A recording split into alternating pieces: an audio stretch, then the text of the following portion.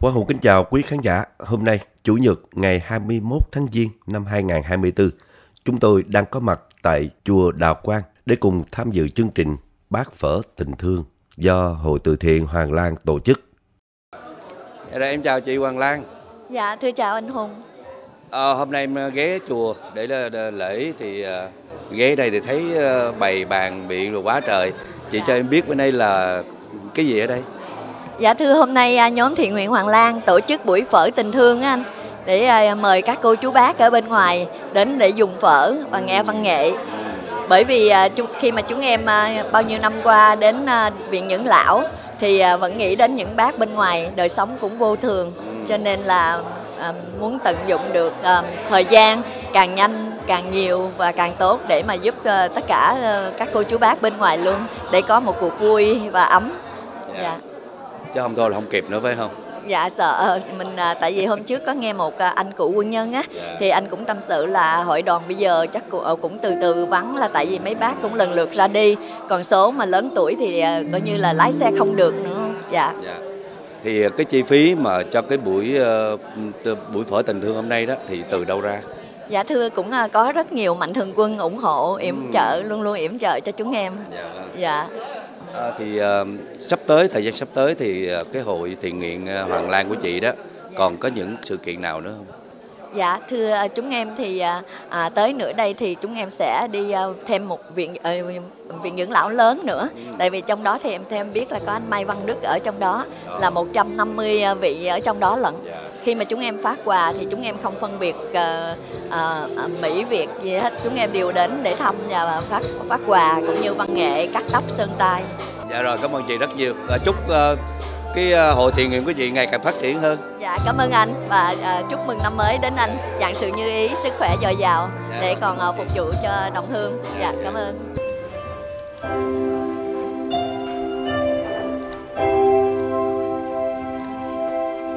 Oh,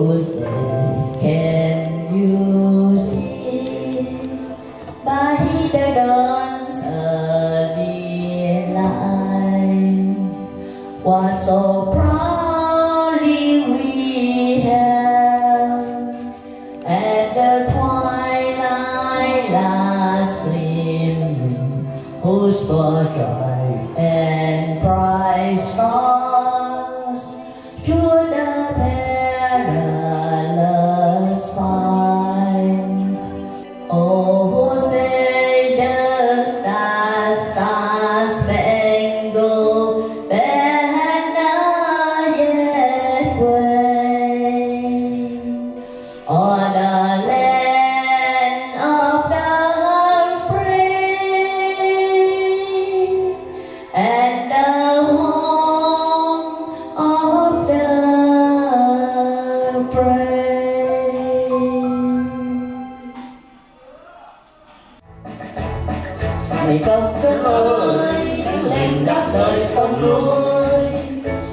Lòng cùng hy sinh tí gì thật sống. Vì tương lai của dân cùng sống và khói đen làm sao cho núi sông từ nay luôn vững bền. Dù cho tay vơi trên cơn gió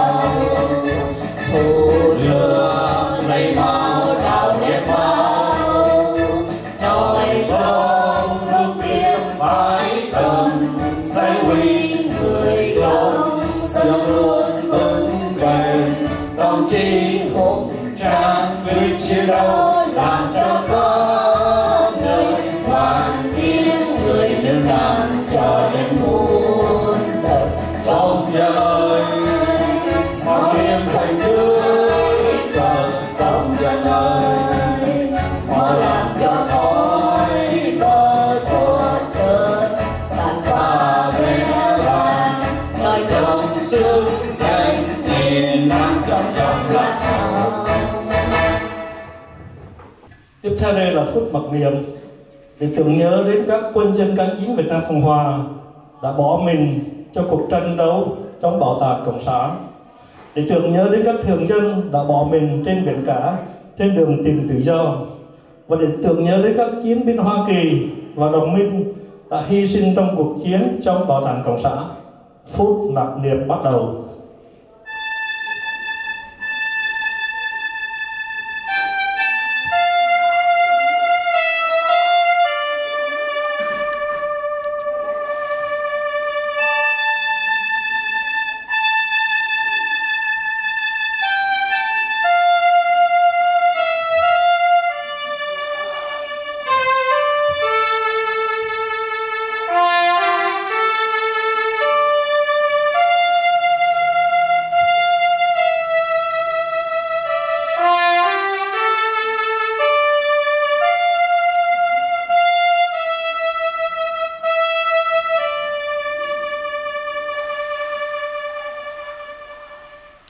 phút mặc niệm chấm dứt. Xin mời quý vị an toàn và xin cảm ơn quý vị.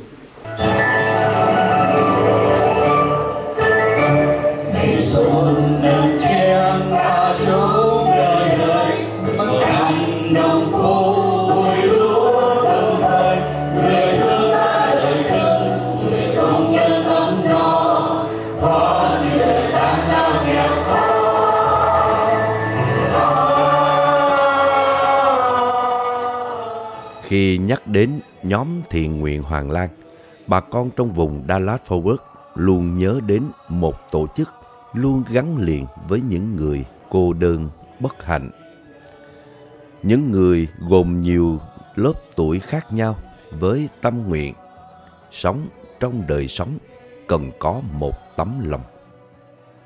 Giữa dòng đời hối hả này, hãy dừng lại trong thoáng chốc để lắng lòng mình vào câu hát của cố nhạc sĩ Trịnh Công Sơn mà dành cho nhau những tấm lòng, tấm lòng nhân ái, giàu yêu thương, biết chia sẻ, thấu hiểu và sẵn sàng giúp đỡ tha nhân với tinh thần thiện nguyện, tiếp thêm nghị lực cho những phận đời bất hạnh, mang lại niềm vui cho nhiều người. Tấm lòng trắc ẩn ấy cũng thật vô tư, trong sáng, vượt lên trên những toan tính đời thường, nhẹ nhàng như làn gió cuốn đi. Thật cao, thật xa, làm tươi mát thêm cho cuộc đời. Kính thưa quý vị, nhóm thiện nguyện Hoàng Lan bao năm qua đã đến giúp vui các viện dưỡng lão như góp vui văn nghệ, sơn tây, cắt tóc và tặng quà cho các bác. Chúng em cảm thấy không riêng các bác bên trong viện dưỡng lão mà các bác bên ngoài. Đời sống vô thường quá, các bác lần lượt ra đi khá nhiều, nên nhóm Hoàng Lan không phân biệt giai cấp neo đơn hay cao niên ở bất cứ nơi nào bằng duyên lành với những gì mình có thể làm được càng nhanh càng tốt. Thời gian và sức khỏe qua đi rất vội, nhóm chúng em quyết định thực hiện những buổi nấu phở miễn phí gửi đến các bác bởi từ tấm lòng các mạnh thường quân, các thiện nguyện viên do nhóm thiện nguyện Hoàng Lan thực hiện. Mong rằng cuộc sống nhân sinh này những gì có thể nhất. Rất mong được sự yểm trợ và đồng hành của quý vị trong việc làm ý nghĩa này. Kính mời quý vị đến dùng bát phở tình thương với các bác và thưởng thức chương trình văn nghệ Mừng Xuân 2024. Kính chúc quý vị với lời chúc khỏe an khang và thân tâm thường an lạc. Kính thưa quý vị và kính thưa các chiến hữu cũng như um, quý đồng hương tôi Trần Thái Liên hội trưởng Liên hội chiến sĩ Việt Nam Cộng hòa của Đà Lạt Phổ xin kính chào quý vị à, kính thưa quý vị hôm nay chúng ta tụ tập nơi đây là để chia sẻ niềm vui và đặc biệt chúng ta cảm ơn nhóm thiện nguyện Hoàng Lan đã tổ chức bát phở tình thương. Kính thưa quý vị nói đến nhóm thiện nguyện Hoàng Lan các cô không chỉ là những đầu bếp có tài năng, mà còn là những người có tâm hồn đẹp và tình thương không biên giới. Bát phở của họ không chỉ là thực phẩm, mà còn là tinh thần. Họ không ngừng chia sẻ tình thương và làm nhân đạo đến với những người cần đến. Đem đến niềm vui, ấm áp cho những người già, cô đơn sống trong những viện dưỡng lão. Kính thưa quý vị, nhóm hoàng lan đã chứng minh được tình thương không biên giới và vô vụ lợi. Họ đã dành hết thời gian để đem đến những người lớn tuổi có một cuộc sống tươi đẹp hơn làm cho chúng ta nhớ lại. Những việc làm hữu ích nhỏ có ảnh hưởng lớn cho tương lai. Và chúng ta cũng công nhận những nỗ lực của nhóm thiện nguyện Hoàng Lan đã đem đến xã hội được tốt đẹp và vui vẻ bằng chính tình thương của mình. Cuối cùng, chúng ta cảm ơn nhóm thiện nguyện Hoàng Lan và có một bàn tay cũng cầu chúc cho nhóm thiện Hoàng Lan được thành công tốt đẹp đêm nay. Các cô là những ngọn lửa nhỏ tỏ sáng cho cộng đồng của chúng ta hôm nay. Nhân dịp xuân về, tôi xin đại diện cho liên hội chiến sĩ Việt Nam Cộng hòa Đà Lạt Phó Quận và vùng phụ cận. Kính chúc quý đồng hương, quý chiến hữu và nhóm thiện nguyện Hoàng Lan. Một năm mới tràn đầy niềm vui an khang hạnh phúc và thịnh vượng. Một năm mới vạn sự bình an luôn luôn lạc quan mạnh khỏe và may mắn. Cảm ơn quý vị. Xin uh, thành thật cảm ơn ông Hội trưởng. Các cô chú bác. Luôn nở nụ cười với Hoàng Lan và các chị em trong nhóm. Trong một kiếp người này, Hoàng Lan cảm thấy vô cùng hạnh phúc khi nhận được sự yêu mến của rất nhiều người. Xin nhận nơi đây lời cảm ơn chân thành nhất của chúng em. Như trong lá thư ngõ Hoàng Lan. Chúng tôi xin kết thúc chương trình tại đây. Chào tạm biệt và hẹn gặp lại quý vị trong những chương trình sau. Xin kính chào. Anh